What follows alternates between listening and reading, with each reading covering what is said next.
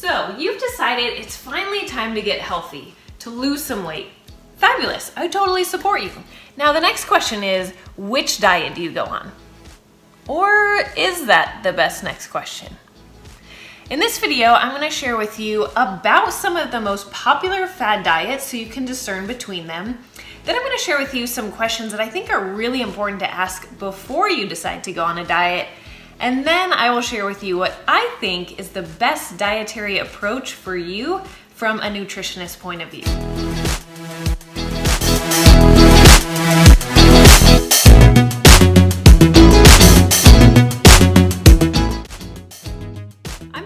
renewalfitcoach.com. I'm a certified personal trainer, a holistic nutritionist, and a registered dietitian in the making.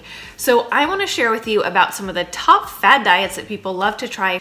So let's start with the keto diet. This is one of the most popular ones right now. The basic premise of this is it's high fat, moderate protein, and very low carb.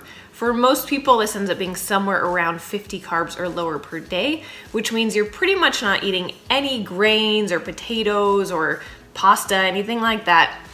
Very few fruits and vegetables. You're mostly focusing on healthy fats. So things like eggs, avocado, beef. This is a very restrictive diet. To do it properly, you need to be in ketosis, which takes a while usually to get into and you can very easily come out of it if you overdo your carbohydrates. The paleo diet is basically based on what did our ancestors eat and let's eat like they ate. So processed foods are pretty much eliminated, so are things like legumes, and there's a strong focus on lean proteins, fruits, vegetables, and some whole grains. You won't be eating things like dairy or sodas or anything like that. The benefit of this diet is it does really focus on whole natural foods and getting rid of artificial sweeteners, sugar, preservatives, things like that. The alkaline diet focuses on trying to keep the body in an alkaline state and reducing acidic ash in the body. This tends to focus on very minimally processed foods, little dairy, little meat, a lot more grains, fruits, vegetables. In some ways, this is very close to a plant-based diet, and it can also be quite restrictive, so might pose quite a bit of challenges for some people. Vegetarian and vegan diets. These are also very popular. A vegetarian diet is basically no meat products. A vegan diet is basically no animal products. You're not eating cheese, you're not eating fish, you're not eating eggs. Now this one can be across the spectrum because some vegans or vegetarians could pretty much get by on junk food where others are very focused on whole, natural, organic type of foods.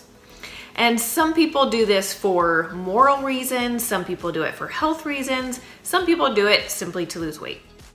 A plant-based diet is kind of along the same lines of vegan or vegetarian, but maybe a little bit more flexitarian, if you've heard that term. So a plant-based diet is gonna be more like 80 to 90% plants, while eating minimal amounts of animal products. So the focus is really on whole foods, natural, organic, things that come from the earth, legumes, nuts, seeds, whole grains, and then a little bit of meat, fish, dairy products. So this has a little bit more flexibility with it, tends to be a little bit more achievable for many people. And some tend to take this diet and maybe just do it a few days a week or part of their life. So again, a lot of times this has a flexitarian approach to it. Now on the other hand, we have the carnivore diet. The carnivore diet is the complete opposite of vegan or vegetarian and plant-based, and it basically says you eat all animal products and nothing else. So really no fruits or vegetables or grains or legumes. It's meat, it's fish, it's some dairy, eggs, but the main focus is really on things like meat. That's the primary food that you're eating while cutting out pretty much all other food groups out of your diet. This again is quite restrictive because it's hard to avoid things like grains or fruits or vegetables. It's hard to go out to eat with people. It's hard to go to someone's home and have food. So this is quite restrictive and will probably prove tough for a lot of people. Then there's a Mediterranean diet. This one is quite popular, has been known for a long time. It's a little bit more of a balanced approach to a diet. Very similar to the plant-based diet. This one is focused on fruits, vegetables, whole grains, beans, legumes, seeds, nuts, fish, and a little bit of dairy and meat, keeping things like sugar and processed foods at a very minimal. Essentially, this is eating like people in the Mediterranean would eat, where people have been shown to have really long lifespans and great health. Then there's a low carb diet. This one is a little bit less definitive because people tend to define low carb differently or approach it differently. And this is gonna depend more on what low carb is for you. So my low carb is gonna be different than my husband's low carb, which is gonna be different than a bodybuilder's low carbohydrate. But essentially, this is just restricting the amount of carbohydrates that you eat on a daily basis. So you're not getting rid of them and it's not like keto, but it's a little bit more moderate. Maybe in the 100 to 150 type of range in terms of grams of carbohydrate per day. But again, that's gonna vary per person. Other than that, there's not a lot of specific restrictions in this diet. So it could include whole foods, it could include processed foods, the types of carbs vary. It's really just more a focus on the amount of grams of carbohydrates that you're eating per day. Then there's the Whole 30 diet, this is kind of a blend of some of the diets where, again, it's mostly focused on whole and natural foods, getting rid of processed foods, preservatives, additives. It does also remove things like dairy, legumes, pasta, bread, alcohol, sugar. So you're still eating meat, you still have a lot of fruits and vegetables, but there are some specific carbohydrates and types of foods that are eliminated entirely.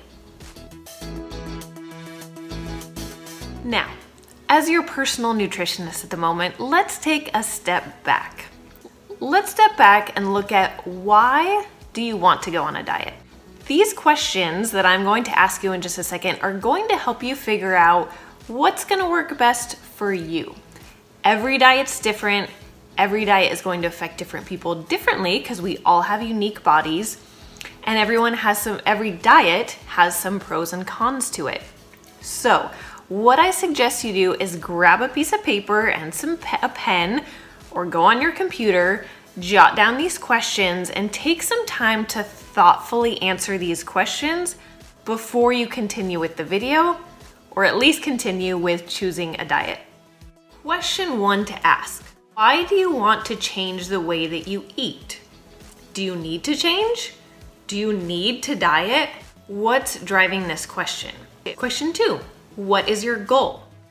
Is it weight loss, more energy, better skin, athletic performance, cardiovascular health, diabetes prevention? Question three is what is your current health like? And what is your family health history? Are there any health conditions or genetic predispositions that could be exasperated or improved by certain food or dietary choices? Question four, what's realistic for you? Do you have time to figure out all the new meals you need to cook for you and your family? Can you stick to a diet plan or should you start just making small changes one at a time?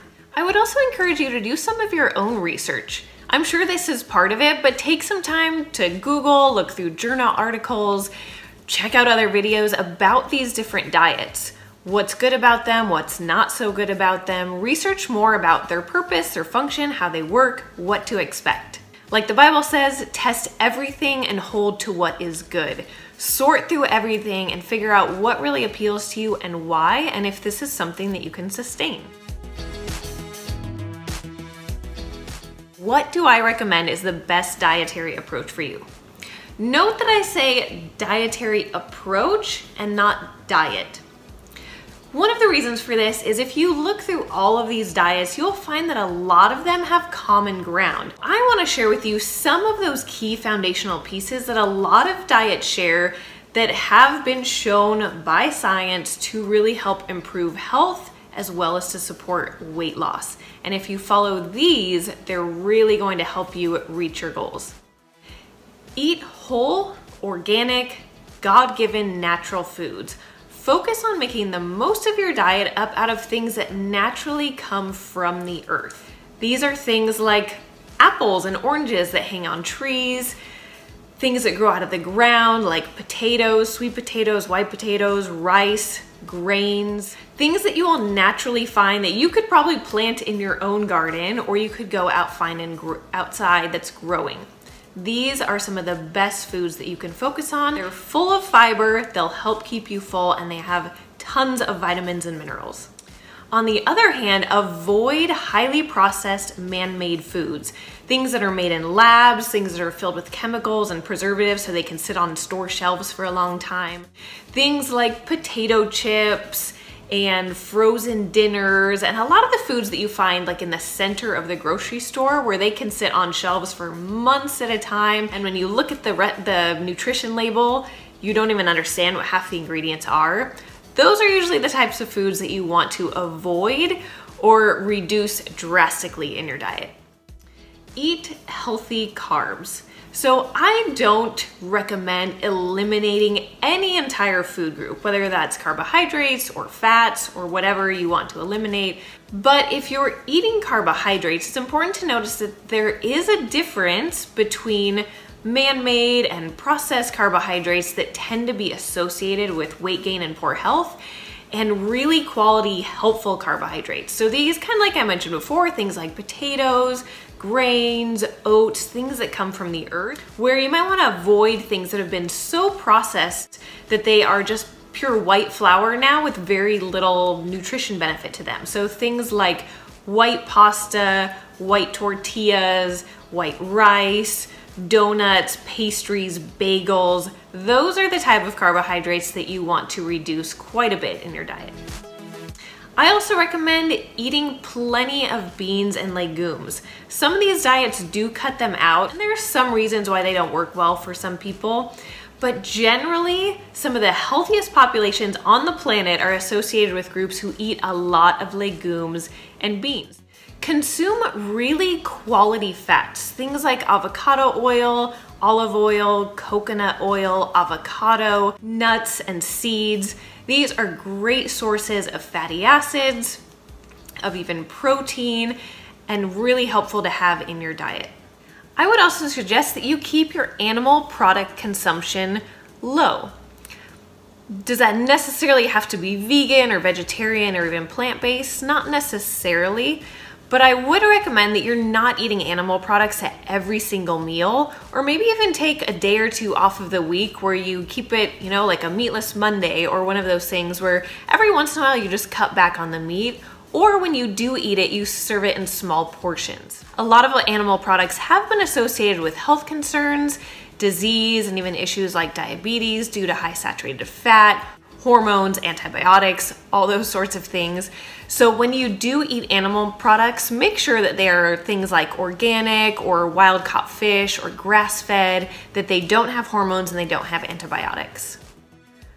Also avoid added and refined sugars. Again, most of these diets try to cut out sugar and any type of refined junk like candy and cookies and donuts and these types of things. Those are never helpful for anyone. They have no nutritional benefit to them at all. And I can almost guarantee that if you cut down on your sugar, you will quickly see a change in not only your body, but your skin and your energy, probably even your mental health, but definitely your overall well-being. As your personal nutritionist, what diet do I suggest you go on? I don't. I don't recommend that you diet or follow a specific diet plan. Overall, I really just focus on eating what I just shared with you, natural, whole foods, and keeping the refined, sugary foods to a minimum. Focus on foods that are gonna make you feel fabulous and make it easy to lose weight. Now, if you still feel a little bit stuck after this video, you still want more advice, you feel like you could kind of use more guidance through this process, which is totally understandable because I know it's tough. I've had plenty of coaches to help guide me through the way as well. Feel free to contact me for a free 15 minute consultation. You can also visit my website at renewalfitcoach.com and there you can see a list of the programs that I offer to figure out what might be best for you. And if this video was helpful to you, you liked it, or maybe you thought of someone else who could enjoy watching this video, then please like it, pass it along and share it. And if you're not already subscribed to my channel, please go ahead and subscribe. I hope this was helpful to you. Thank you for watching. And until the next video, blessings on renewing your life through your health and fitness journey.